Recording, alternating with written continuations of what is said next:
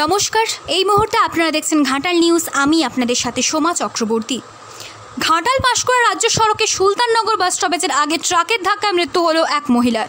গুরুতর আহত হয়েছে একজন। জানা গেছে, একটি মাল বোঝাই ট্রাক পাঁশকুড়া থেকে ঘাটালে আসার সময় দুজন সাইকেল আরোহীকে ধাক্কা মারে। ঘটনাস্থলেই মৃত্যু হয় এক মহিলার। আরেকজনকে ঘাটাল হাসপাতালে পাঠানো হয়েছে গুরুতর আহত অবস্থায়। তার অবস্থা আরও আশঙ্কাজনক হওয়ায় ঘাটাল হাসপাতাল তাকে কলকাতায় স্থানান্তরিত করে। স্থানীয় সূত্রে জানা গেছে, নন্দনপুর বাজুয়া গ্রামের শামসুন নেহা বিবি কিশোরনগরে মেয়ের বাড়ি যাচ্ছিলেন। সাথে ছিল নাতনি জুহি খাতুন। সাইকেলে করে যাওয়ার সময় পেছন থেকে ট্রাক ধাক্কা মারলে দুর্ঘটনা ঘটে। এই মর্মান্তিক ঘটনা হয়ে যাওয়ার পর এলাকাবাসী দাঁড়িয়ে দেখে, তাকে কোনো অবস্থাতেই হাসপাতালে পাঠায়নি। তখন ঘাটালের এক যুবক অতনু বিশ্বাস মেচোগ্রাম থেকে বাসে করে ফেরার সময় ওই ঘটনা দেখতে পায় এবং তিনি ওই যুবতীকে ঘাটাল হাসপাতালে নিয়ে যান। তিনি খুবই দুঃখিত হয়ে বলেন যে, ওই এলাকার মানুষেরা সবাই ছবি তুলছিলেন, কেউ একটু জলও দেননি এবং তিনি এই যুব সমাজের দিকে আঙুল তুলে কি বলেছেন তা আমরা শুনে নেব।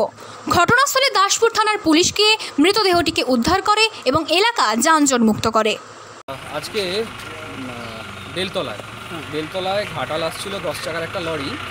তো মা এবং মেয়ে সাইকেলে করে যাচ্ছিল, দুজনকেই পিছিয়ে দিয়েছে। তো ওইখানেই স্পট ডেথ হয়ে গেছে মা এবং যে মেয়ে ছিল তো তাকে আমি বাসা করে ফিরছিলাম মেসোগ্রাম থেকে। আমি ওনাকে তুলে নিয়ে ঘাটাল হসপিটালে নিয়ে এসে ভর্তি করেছি। তার সাথে একটা কথা ছোট একটা কথা। আমি ইয়াং জেনারেশনের পক্ষ থেকে খুব লজ্জিত এবং দুঃখিত যে আমরা ইয়াং জেনারেশনের ছেলেমেয়েরা শুধু ফটো তোলা এবং ভিডিও তোলাতে বেশি বিশ্বাসী হয়ে গেছি আজকাল। খালি স্টেটাস দিতে হবে সবার আগে ফটোটা আপলোড করতে হবে। ওখানে মেয়েটা দীর্ঘ আধ ঘণ্টার মতো পড়ে কাতরাচ্ছে একটা মেয়ে বেঁচে আছে তখন আমাদের উচিত ছিল ওর মুখে একটু জল দেওয়া এবং তুলে নিয়ে আসা। ওইখানে বেলতলা স্থানীয় কেউ কিচ্ছু করেনি।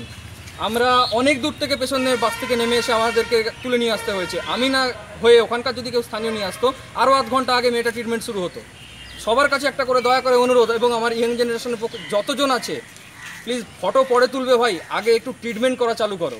আমরা এগোই না, তাই আমাদের দেশও এগোয় না। দয়া করে সবাই নিজের মতো করে ভাবতে শেখো। ধন্যবাদ।